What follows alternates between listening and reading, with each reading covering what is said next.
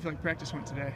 Oh, it was good. I mean, there are a lot of things that we still need to work on and improve, but um, for the most part, everybody's playing hard, fast, and competing. And it's really a competitive practice because of all the, the corners and DBs that we have that, that make it interesting and difficult on the wideout. So it's, it's fun.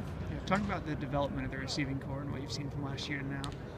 Oh, I think everybody's stepping forward and, and making more plays. You know, last year we really wanted Juwan to, to grab more than what he did, and um, you know I think he's seeing that now. You know, he had kind of that sophomore slump, but he understands that, and he's coming back. He's bounced back. I expect really good things out of him. He's playing very well right now in spring ball, and, and uh, James Washington hasn't missed a beat, so he's continuing to play well. And I'll tell you another one that uh, really has jumped up and started to play well is Marcell. Mm-hmm. Uh, Marcell Ateman stepped forward you know, this spring as well. And, and um, so right now I'm really happy with our receiving corps. And I'd like to get Glidden back out on the field, but but Hayes has done a nice job inside too. So no complaints across the board. Okay.